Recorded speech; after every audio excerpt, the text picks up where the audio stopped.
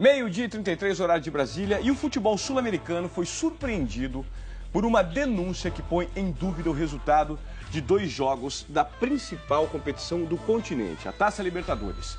Escutas telefônicas divulgadas por uma televisão argentina levantam suspeita de que o Santos de Pelé, em 1964, e o Corinthians de 2013 foram prejudicados pela arbitragem.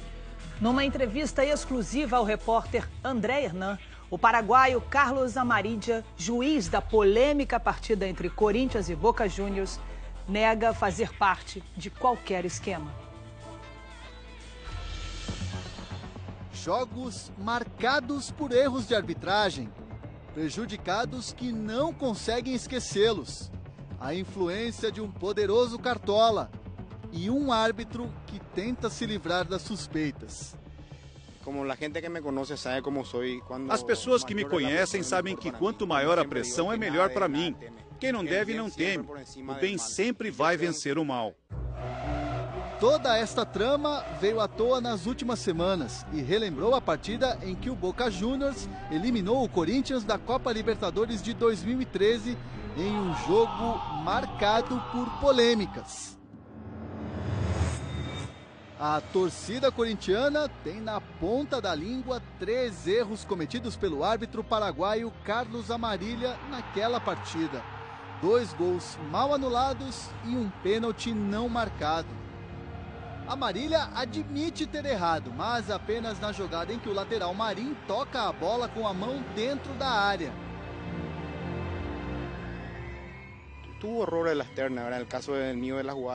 Houve erros no jogo. No meu caso, teve uma jogada com mão na bola que ficou clara. Mas eu estava atrás da jogada e os jogadores me cobriram. Foi uma jogada que se viu na televisão. Não vimos e cometemos o erro. Os erros de dois anos atrás voltaram à discussão após a revelação de uma ligação telefônica entre Julio Grondona, então presidente da Associação de Futebol Argentino, e Abel Neco, da Comissão de Arbitragem da Comebol.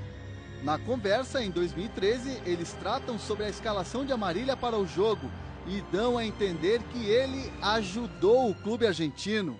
este loco de mierda jugó el refuerzo más grande que tuvo Boca que del, del último año es amarilla. Bueno, así fue, lo puso y bueno, y salió bien. Nesta semana, Nheco emitiu um comunicado isentando a Marília de má intenção nos erros de arbitragem. Para o juiz, a gravação da conversa foi uma montagem para prejudicá-lo. As pessoas aproveitam isso para criar polêmica. Isso foi investigado na Argentina, não deu em nada. Ficou claro que era uma montagem de um programa de TV. Responsável pela divulgação da escuta na TV argentina, o jornalista Luiz Marrul contesta as alegações de Amarília. Pedirle a Amarília primeiro que eh, contrate um médico. Acho que deveríamos pedir para o Amarília contratar um médico. Pode ser um psiquiatra ou um médico para ouvir melhor porque a escuta que menciona a Marília é apenas uma. Provavelmente, ele esteve tão distraído ouvindo as escutas quanto apitando suas partidas. Porque qualquer um que entende o mínimo de futebol sabe que ou a Marília está muito distraído, ou não é um bom árbitro, ou há algo errado por trás disso. A escuta também mostra que a influência de Grondona sobre as arbitragens vinha de muitas décadas e pode ter prejudicado até o fantástico Santos de Pelé. Falando com Neco, eles relembram que na semifinal da Libertadores de 1964, o Independiente, clube então presidido por Grondona, teve apoio dos bandeirinhas para ganhar do Santos. En el año 64, cuando jugamos con el Santos, que era holandés con Ronaldinho. A crônica do jornal Correio da Manhã, no dia seguinte ao jogo da Vila Belmiro, é crítica ao trio de arbitragem.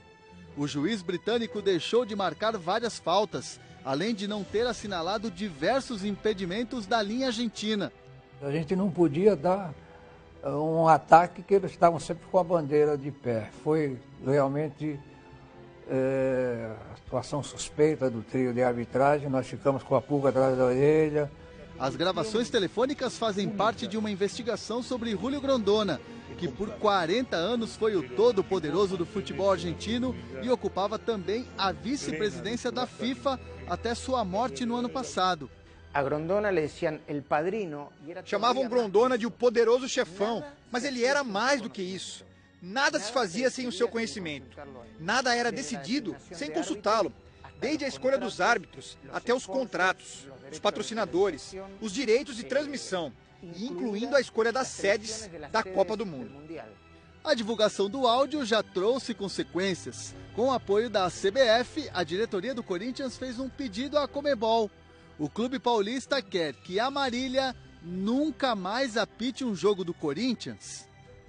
A situação de Carlos Amarília é cada vez mais complicada. Enquanto a Comembol, a Confederação Sul-Americana de Futebol, que tem sede aqui no Paraguai, não iniciar uma investigação, o árbitro não poderá apitar os jogos do campeonato local. Essa decisão foi tomada pela entidade máxima do futebol paraguaio, depois que o nome de Amarília apareceu nas escutas telefônicas. Não tenho a menor dúvida de que tudo será esclarecido. Acredito em Deus e logo estarei apitando outra vez. Aos 45 anos, Carlos Amarília vai se aposentar em dezembro. Considerado um dos melhores árbitros do futebol sul-americano, ele tem agora apenas seis meses para limpar uma carreira de 27 anos de arbitragem.